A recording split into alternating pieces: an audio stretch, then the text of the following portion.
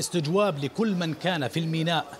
وفي تحديدا في الرصيف رقم أربعة وقت وقوع الحادث ميسون تم استجوابه. والأدلة الجنائية فرق الأدلة الجنائية جمعت المعلومات اللازمة فيما يخص نحن نتحدث عن الحبل الحديدي الذي انقطع. القصة كلها في حبل حديدي ميسون آه، آه، تستخدمه الرافعة لرفع هذا الصهريج. انقطع هذا الحبل. التحقيقات كلها تجري لمعرفة بأي سبب ومن من الذي تسبب بقطع هذا الحبل؟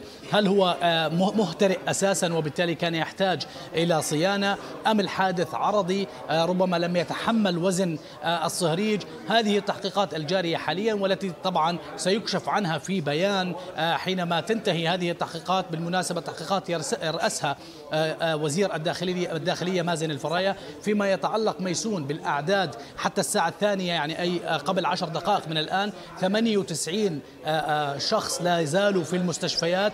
في العقبة من, من أصل 130 فيما يتعلق بالمستشفيات في العقبة نحن في المستشفى الميداني.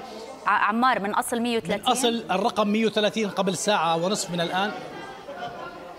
نعم كان الرقم انخفض ل 130 آه، كما أخبرنا وزير الصحة. الآن أصبح الرقم 98 بمعنى هنالك أشخاص تعافوا وتحسنت حالتهم وغادروا المستشفيات. لا يتم آه، إخراجهم من المستشفى إلا بعد ضمان أن نسبة الأكسجين عندهم جيدة جدا وأنه ليس هنالك آه، داع لاستخدام جهاز التنفس.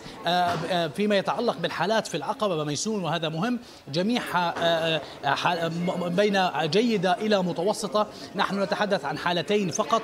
تم إخلاءهم من العقبة إلى عمان إلى آه، مستشفيات عمان وهم في حالة حرجة بحسب وزير الصحة. وتم نقلهم آه، لأن ذويهم طلبوا هذا طلبوا أن ينقلوا آه، إلى عمان. فيما يتعلق بالعمل في موانئ العقبة جميع أرصفة موانئ العقبة تعمل بشكل طبيعي وانسياب طبيعي. ولكن الرصيف رقم أربعة الذي وقعت فيه هذه الحالة حتى هذه اللحظة لا يعمل. وأظن أنه لا يعمل بحسب ما فهمت حتى حتى تنتهي هذه التحقيقات لأنهم يجمعوا الأدلة الجنائية وأيضا يقوموا آه، ميسون بتعقيم المياه المحيطة بالسفينة التي كان من المفترض أن تحمل هذا الصهريج قبل وقوعه وقبل أن يتسبب بحالات الاختناق.